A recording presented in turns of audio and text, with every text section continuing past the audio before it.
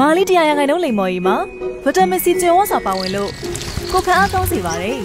။လိမ်မော်ဗန်လေးတွေနဲ့တခြားလုံးဝမပါဝင်တော့ကျန်းမာရေးအတွက်တင့်တော်တာပေါ့။ဗီတာမင်စီကျင်ဝါစာပါဝင်နဲ့မာလီတရားရခိုင်နှုန်းလိမ်မော်ကြီးစစ်စစ်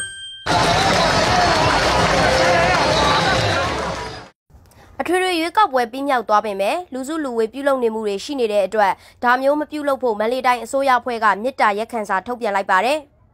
ဒီလိုထုတ်ပြန်တာဟာရွေးကောက်ပွဲအပြီးမန္တလေးတိုင်းကဒီကျုပ်ပါတီရုံးရှိကျုံးပေးနေရာတွေနဲ့အောင်ပွဲခံတာတွေရှိခဲ့တာကြောင့်လို့သိရပါတယ်။ဒါအပြင်မြို့ရင်းမှာကားတွေဆိုင်ကယ်တွေနဲ့လှည့်လည်ပြီးအောင်ပွဲခံတာတွေလည်းရှိခဲ့တာပါ။ကယောဂါကာလဖြစ်လို့လူစုလူဝေးနဲ့အောင်ပွဲခံတာတွေကိုထိန်းချဖို့လဲဒီကျုပ်ကမြစ်တာရက်ခံထားတာရှိပါတယ်။ဒါကြောင့်ပြဿနာတွေကိုရှောင်ရှားဖို့တည်တည်ငြိမ်ငြိမ်နေထိုင်ကြဖို့ကိုလည်းပန်ကြားထားပါတယ်။ ကျန်းမာရေးဝန်ကြီးဌာနကတော့လက်ရှိမှာကက်ယောဂါကာလဖြစ်လို့လူစုလူဝေးမလုပ်ကြဖို့နဲ့လူ30ဦးထက်ပိုပြီးစုဝေးတာမလုပ်ကြဖို့ထုတ်ပြန်ထားပါတယ်။ဒီထုတ်ပြန်ချက်ကိုမလိုက်နိုင်ရင်အရေးယူမယ်လို့လည်းဆိုထားပါတယ်။လူစုလူဝေးမလုပ်ဖို့မန္တလေးတိုင်းအစိုးရအဖွဲ့ရဲ့ထုတ်ပြန်ချက်မှာလည်းတည်ဆဲဥပဒေအရအရေးယူမယ်လို့ပါရှိပါတယ်။ဒါကြောင့်ပြည်သူလူထုအနေနဲ့လူစုလူဝေးမလုပ်ဖို့ဝန်ကြီးချုပ်ဒေါက်တာဇော်မြင့်မောင်ကဒီကနေ့ရက်စွဲနဲ့မြစ်တာရက်ခံထားတာတွေ့ရပါတယ်။